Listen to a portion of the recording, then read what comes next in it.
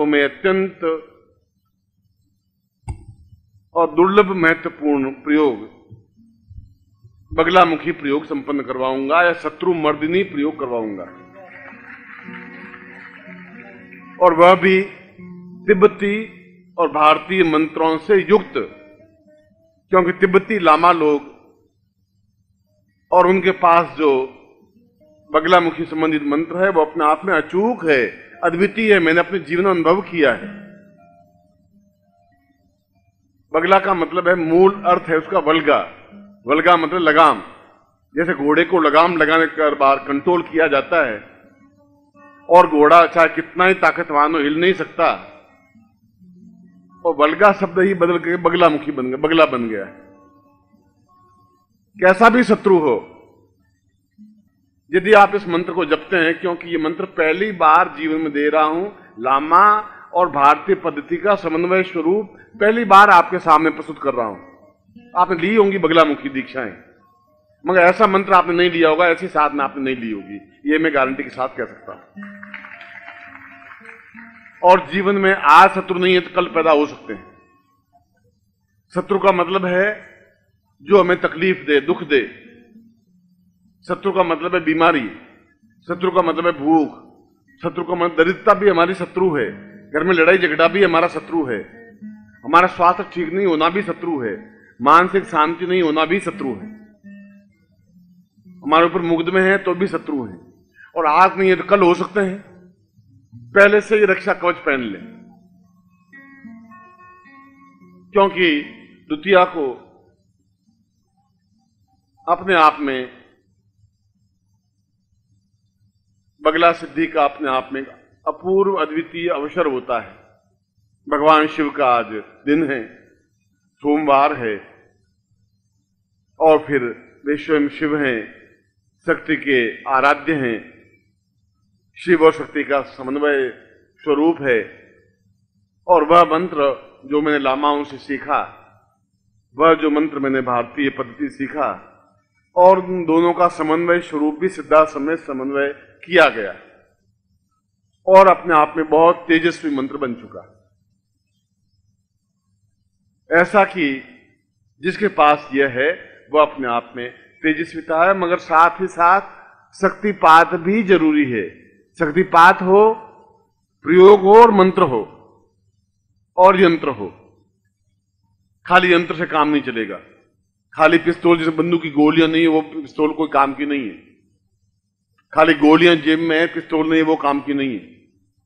और दोनों हैं चलाने की, आपको ज्ञान में नहीं दिया, तभी बेकार। इसीलिए कई लोगों के आग्रह पर आज शाम का प्रयोग में बगलामुखी प्रयोग, या बलगामुखी प्रयोग, या पीताम्बरा प्रयोग, जो भी इनके नाम हैं। जो दस महाविद्याओं में से एक महाविद्या है। जो महाकाली के बाद में जिसका अद्वितीय नाम है, जिस मंत्र को लेने के लिए लोग लालायित रहते हैं। ऐसा ही एक सिद्ध, अभूतपूर्व प्रयोग शाम को आपको समन्वय कराऊँगा, संपन्न करवाऊँगा। इस समय तो मैं और मेरे जीवन का अनुभव भी यही है कि बगलामुखी साधना अपने आप में एक तेजस्वी साधना है। मैंने सुबह बताया था कि सैकड़ों प्रकार के हमारे जीवन में गुप्त शत्रु और प्रकट शत्रु दोनों प्रकार के हैं। जिन पर विश्वास विश्वास करते हैं, वे विश्वासघात भी कर सकते हैं, वे भी शत्रु हैं। घर में भी कुपुत्र पैदा हो तो शत्रु है, बीमारी हो तो शत्रु है पति पत्नी में झगड़ा है तो शत्रुता है। पड़ोसी शत्रुता पैदा कर सकते हैं। शत्रुओं की कमी नहीं है। ज़रूरत इस बात की है कि क्या हम शत्रुओं से डरते हुए ज़िंदगी यापन करें, या निर्भय शेर की तरह दहाड़ते हुए ज़िंदगी यापन करें। और ऐसे दहाड़ते हुए ज़िंदगी यापन करने के लिए हमारे पूर्वजों ने एक मंत्र, एक साधना दी है, जिसको बगलामुखी साधना कहा गया है, और मध्य प्रदेश में दतिया एक स्थान है, वहाँ पर बगला पीठ है। और ऐसे कई स्थानों पर बगला पीठ है, बगलामुखी मंत्र जाप है, बगलामुखी के मंत्र हैं, बगलामुखी के मंदिर हैं। और मंदिर तो जहाँ माने वही मंत्र है मंदिर है।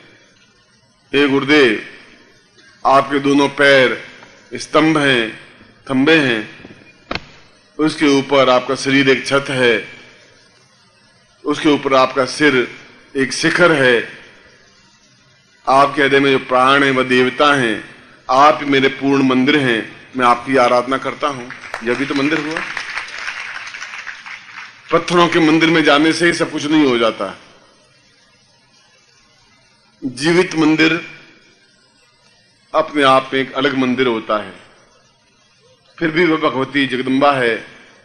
वह हमसे तो करोड़ गुना आराध्या है, मेरे पूजनीय है। इसलिए बगला साधना गुप्त और प्रकट शत्रुओं पर विजय प्राप्त करने के लिए, तीव्रतम रूप से प्रहार करने के लिए, आपके लिए एक बार मंत्र जप कर देखें, एक बार उनका नाम लेकर के। आप देखें, एक हफ़्ते भर में आपके सरेंडर होता है, पैरों में गिरता है। देखें ये मंत्र। इसीलिए आपके हाथ में मैं बराबर आयुध देता आ रहा हूँ, कमज़ोर नहीं बना रहा हूँ।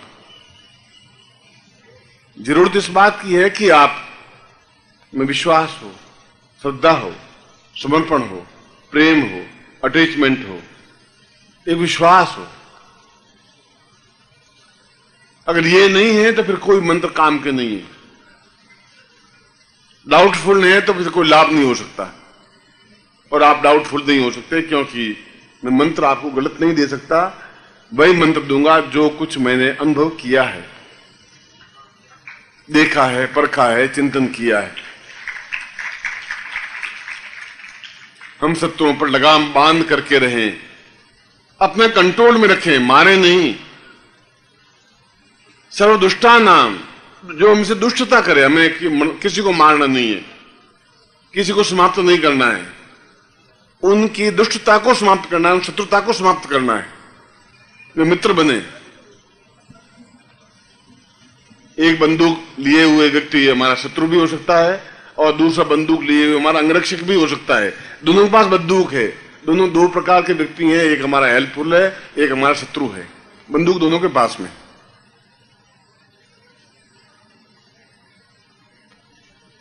इसलिए इस मंत्र में दुष्टा नाम शब्द आया है। मैं राष्ट्रपति महोदय से मिला था तो उन्होंने बड़ी लंबी, अच्छी बात कही थी। बलराम की मंत्र में शत्रु नाम नहीं कहा है, दुष्टा नाम कहा है। मैंने कहा, आप ठीक कह रहे हैं। जो दुष्टता रखता है, जो हमसे शत्रु भाव रखता है, जो हमारा आई सोचता है, जो हमारा नाश करने के लिए ऊपर तुला हुआ है, उसको उतना ही सजा, उतनी दंड, उतना ही कठिनता, कठोरता मिले एहसास हो और मिलता ही है। जगदम्बा का दंड अपने आप में बहुत प्रबल होता है, जो ऐसी मार मारता है कि सांस भी नहीं ले पाता। क्योंकि हमें उस पर विश्वास है। मोक्ष खटवांगम परसुजिनम भस्म फणिना हमें उस पर ऐसा विश्वास है कि वह काली है, महालक्ष्मी है माँ सरस्वती है, जगदम्बा है, बगलामुखी है छिन्नमस्ता है भुवनेश्वरी है। सैकड़ों रूपों में से हमें सहायक है, क्योंकि वह हमारी माँ है। हमारी रक्षा करने के लिए उनकी ड्यूटी है, धर्म है, तत्परता है। क्योंकि हम उनको याद रखते हैं, उनके साथ में हैं। इसीलिए बगलाम की साधना का प्रयोग आपको संपन्न करवा रहा हूँ। और इसकी विधि क्या है, वह मैं समझा देता हूँ, वह ज़रूरी है। वह है तो पूर्ण फल है। वह नहीं है तो अधूरा फल है। नुकसान नहीं हो सकता। साइड इफ़ेक्ट कुछ नहीं है। आप पूर्ण फल चाहते हैं, आधा फल चाहते हैं चौथाई चाहते हैं, पाँच परसेंट चाहते हैं, वो तो आप पे डिपेंड है। इसलिए मैं उसकी क्रियाएँ समझा देता हूँ। इसको पीताम्बरा देवी भी कहा गया है। इसको बगलामुखी भी कहा गया है। इसको वल्गामुखी भी कहा गया है। पीताम्बरा का मतलब है कि मंत्र जप में सब कुछ पीला ही काम आता है। पीली धोती हो, वो पीला दुपट्टा हो, यज्ञ पवित्र पहना हुआ है तो पीले रंग से रंगा हुआ हो। यदि रुई है, दीपक बनाना, दीपक लगाना ज़रूरी है तो पहले रूई को पीले रंग से रंग दें, सुखा दें तो उससे बत्ती बनाएँ। घी है तो उसमें थोड़ी हल्दी मिला दें, फिर घी का दीपक लगाएँ। कमरा है, या कमरे का कोना है तो पीले कागज़ लगा दें चारों तरफ़, फिर उसमें साधना करें। पुष्प चढ़ाएँ तो पीले पुष्प चढ़ाएँ। चावल चढ़ाएँ तो पीले पीले रंग में रंग के, सुखा के, अलग रख के वो चढ़ाएँ। और मंत्र जाप भी, पीली अकीक माला से, या हल्दी की माला से ही मंत्र जाप किया जाता है। जो मैं माला दे रहा हूँ, वह पहनने के लिए है, रक्षा के लिए है। कि आपका अहित नहीं हो। वह कोई विकराल रूप नहीं है। फिर भी तीक्ष्ण देवी है। नुकसान नहीं पहुंचाती, फिर भयभीत हो सकते हैं। इसलिए मैं आपको माला दे रहा हूँ कि आप उसको पहन करके हल्दी की माला से या पीली हकीक माला से, पीली हकीक माला से मंत्र जाप करें। रात्रि को ही मंत्र जाप होता है। दिन को नहीं हो सकता। केवल ग्यारह माला मंत्र जाप किया जाता है। केवल ग्यारह दिन मंत्र जाप किया जाता है। ग्यारह माला ग्यारह दिन तक सामने घी का दीपक लगा करके, अगरबत्ती लगा करके, पीले वस्त्र दान करके पीताम्बरा का चित्र हो या मूर्ति हो, और नहीं हो तो कोई अक्षत की ढेरी लगा दें और मान ले कि पीताम्बरा देवी है, बगलामुखी देवी है। सामने गुरु चित्र हो, जिसे हमें रक्षा हो सके। ये माला जो मैं दे रहा हूँ पहने हुए हो, ये यंत्र है, वो अपना में पीताम्बरा यंत्र है, बगलामुखी यंत्र है। इसके सामने ही सही। और मंत्र जाप करें, और केवल ग्यारह दिन तक करें।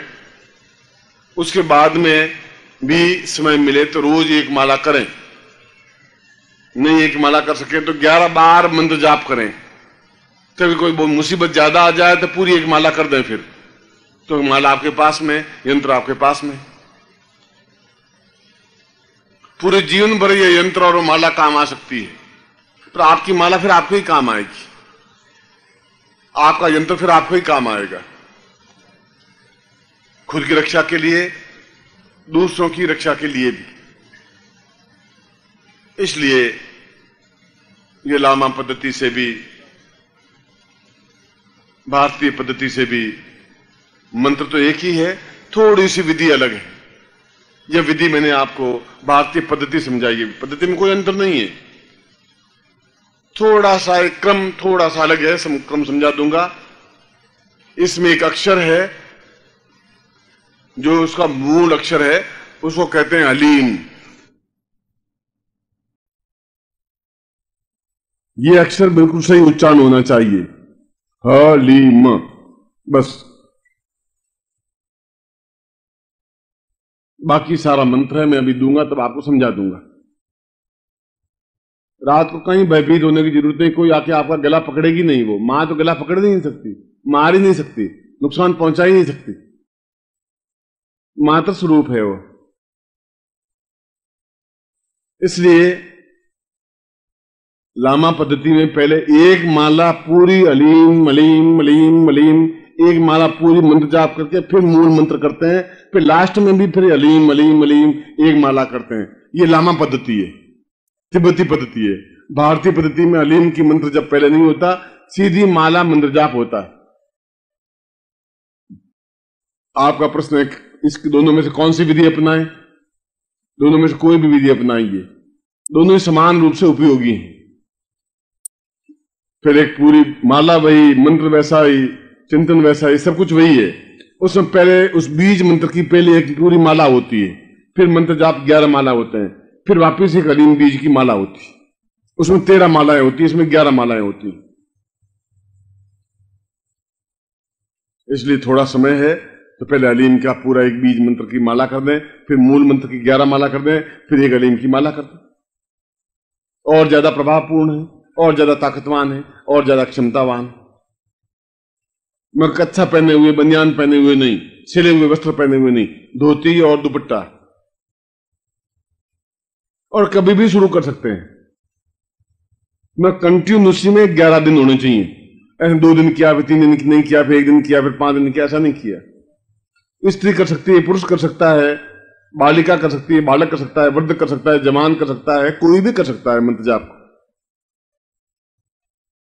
मूल ज़रूरत क्या है वह मैंने आपको समझा दिया कि इसका, इसकी विधि ऐसा इजी गोइंग नहीं है। कोई भी धोती पहनी हुई है, कपड़े सुबह के पहने हुए हैं, ना आपने मंत्र जाप कर दिया, उससे इफ़ेक्ट आपका दस परसेंट मिलेगा। जो विधि बताई उस तरीके से करेंगे तो हंड्रेड परसेंट मिलेगा। एक बार तो सिद्ध करना है। उसके बाद जीवन भर में बार बार करने की ज़रूरत नहीं है। फिर तो केवल पाँच बार उच्चारण करना कभी तकलीफ़ आ जाए तो एक माला करनी है। और इस मंत्र में एक शब्द आता है, सर्वदुष्टा नाम। सर्वदुष्ट नाम जितने भी दुष्ट हैं, वे सभी शांत हो जाएँ, कमज़ोर हो जाएँ, मेरे अधीन हो जाएँ। यदि कोई व्यक्तिगत कोई दुश्मनी है तो सर्वदुष्ट नाम, उसका नाम बोल जाए। पूनम चंद दुष्टा नाम वाचम ऐसा। किशन लाल दुष्टा नाम वाचम मुखम ऐसा। कोई दोष नहीं है। क्योंकि हम नुकसान, मृत्यु तो दे नहीं रहे। हम तो उसकी शत्रुता समाप्त कर रहे हैं। इसलिए एक बार जब मंत्र जाप करेंगे, तब तो सर्वदुष्ट नाम का ही उपयोग करेंगे। मगर बाद में कभी एक माला मंत्र जाप करना, कोई व्यक्ति बहुत ही दुख दे ही रहा है तो फिर उसका नाम लेकर के भी मंत्र जाप किया जा सकता है। इसलिए यह मंत्र तीक्ष्ण है, प्रबल है, चैतन्य है, सिद्ध है, और मैं जो प्रयोग करवा रहा हूँ तो चैतन्य सिद्ध करवा ही रहा हूँ। इसलिए ज़्यादा रूप से उपयोगी है। अब मैं इसको प्रयोग को संपन्न करवा रहा हूँ। पुनः एक बार गणपति स्मरण करते हैं, हाथ जोड़ करके। दीर्घोवतां वै प्रबलम लम्बोदरम् प्रबलम् अदस्मरा तुम भवदेव रूपम् गणेशम गणेशम् गणनाथयूतम्। और देवी का ध्यान करते हैं। खड़गम चक्र गदे सुचाप परिगान, चोलम सुंडी सिरा। शंखम सन्नदतिम करे नयनाम सर्वांग भूषावृताम नीलास मद्युति मास पाददशकाम, सेवे महाकालिकाम।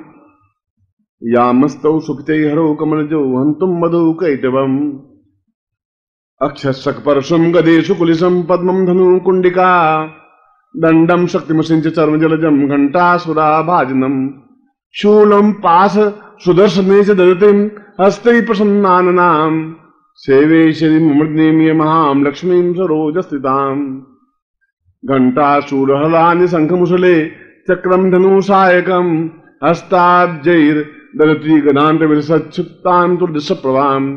गौरी देशमुरां त्रिनाम माधारभूता माम् पूर्वामत सरस्वती मनुमजे शुंभादि दैत्यादिनम श्री बगलामुखी मंत्र जापम सा मेतोस्वानम बगलामुखी देवी मन संकल्पम कुरियात। संकल्प लें।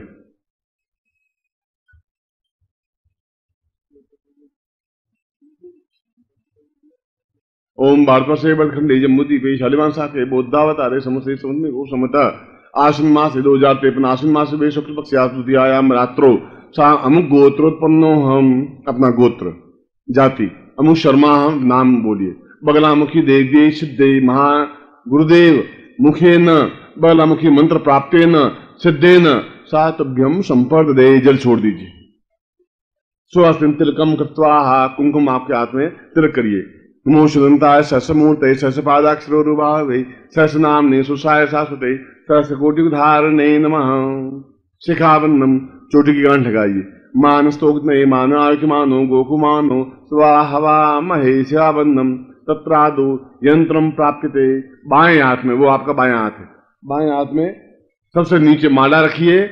माला के ऊपर यंत्र यंत्र के ऊपर गुटिका।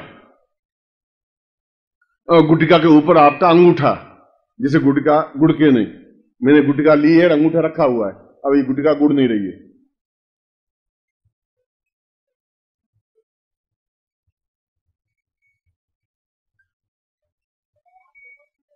जल स्नानम समर्पयामी जल से स्नान करवाई ओम वर्णश्योतम हनुमसी वर्णमनीषो वर्णश्य रथ सदन से वर्णमासीद। तत्रादु गंगे च यमुने च वर गोदावरी सरस्वती, नर्मदे सिंधु कावेरी, जलेस्मिन् सन्निधि कुरु क्षिप्रदाम पुरुषाम हेतोस्मान स जेन स्नानम समर्पयामी नमः असन प्रक्षयामी पहुँच लीजिए तत्र तिलकम कृत्वा आपके पास कुंकुम है कुंकुम से सबसे पहले यंत्र पर ग्यारह बिंदियाँ लगाइए, ग्यारह बिंदियाँ कहीं पर भी। ओम बगला मुख्य नमः शत्रु मर्दिनी नमः, तेजस्विताय नमः, चैतन्य नमः पूर्ण विजय प्राप्ताय नमः सर्व सिद्धिदात्री नमः एकता रूपिणी नमः दुष्ट दलन रूपेण नमः पूर्ण विजय प्राप्ताय नमः। सर्व सिद्धि प्रदाय नमः। सर्व बगला मुख्य नमः। एतोस्मानम माला यही ताम एतोस्मानम माला हाथ में लीजिए, दाहिने हाथ में राइट हैंड में माला लीजिए। बाएँ हाथ में यंत्र गुटिका है। राइट हैंड में माला। ओम माले माले महामाए सर्वशक्ति स्वरूपिणी, चतुर्वर्ग तस्मन तस्मान में सिद्धाम पूर्ण माला मम रक्षाम। रक्षाम एतोस्मानम स पूर्णताम सिद्धि प्रदेना एतोस्मान सा कुर्यात। चैतन्य रक्षाम पूर्वाम एतोस्मान कृतिम कल्याण तुभ्यम संपर्दे माले समर्पयामी नमः। माला को गले में दान कर लीजिए।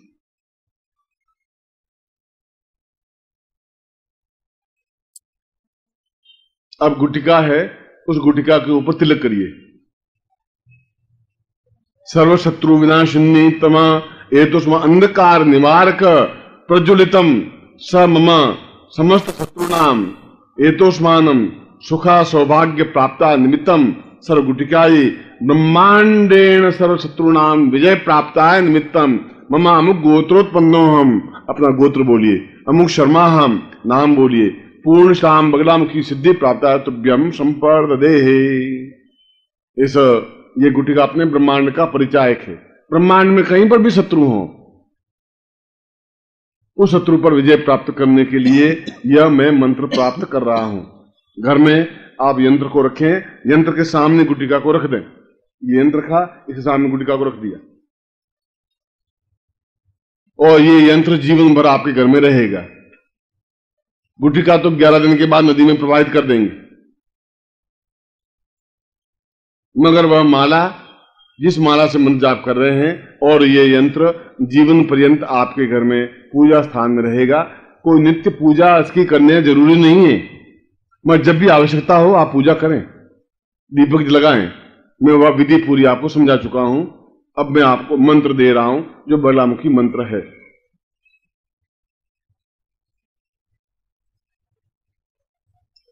और ये मंत्र लिख करके यहाँ टांग दिया जाएगा और आप उसको नोट कर लें। मैंने इसका मूल जो अक्षर है, वो समझा दिया है। वह मूल बीज मंत्र है वो। बोले, ओम हलीम। बस ये हलीम शब्द बहुत ध्यान से उच्चारण करने देना H A L E E M haleem.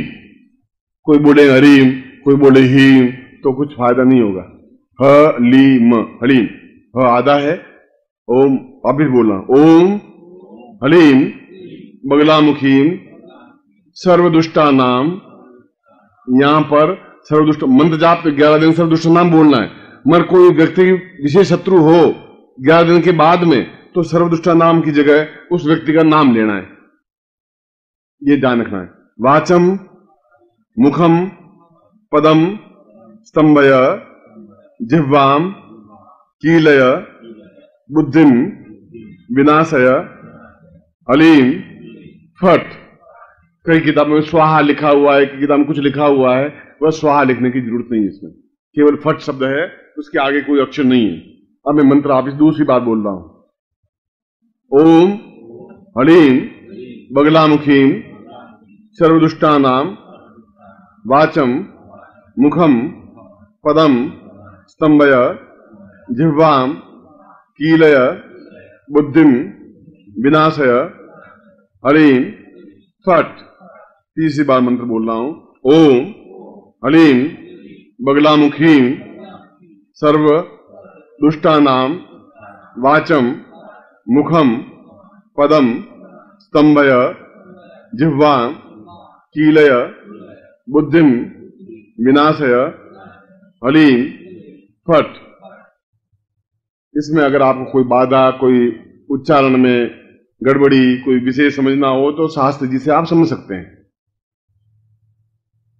इसकी आहुति कभी देनी हो तो आहुति में केवल पीली सरसों का ही प्रयोग होता है। घी और पीली सरसों तीसरी कोई चीज़ का प्रयोग नहीं होता। उससे आप इसी मंत्र से आहुति दे सकते हैं, और ज़्यादा उस शत्रु को ज़्यादा प्रहार करने के लिए अग्नि में।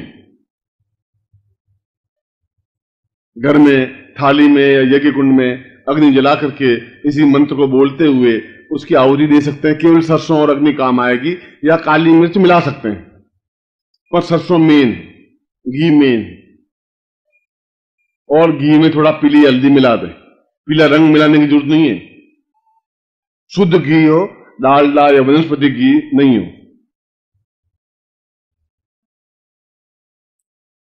इसमें आप किसी भी दिशा में मुँह करके बैठ सकते हैं, दक्षिण दिशा में मुँह करके बैठे तो ज़्यादा उत्तम है। यो किसी भी दिशा हो सकती है। मगर ये रात्रि कालीन साधना है। यज्ञ भी रात्रि को ही करें। रात्रि का मतलब नौ बजे। नौ बजे कोई ऐसी रात्रि होती नहीं। डरने की तो ज़रूरत है ही नहीं, क्यों? गुरु चित्र आपके सामने है। गुरु मंत्र आपके पास में है। मैं आपको आशीर्वाद देता हूँ। दोनों हाथ खोलिए।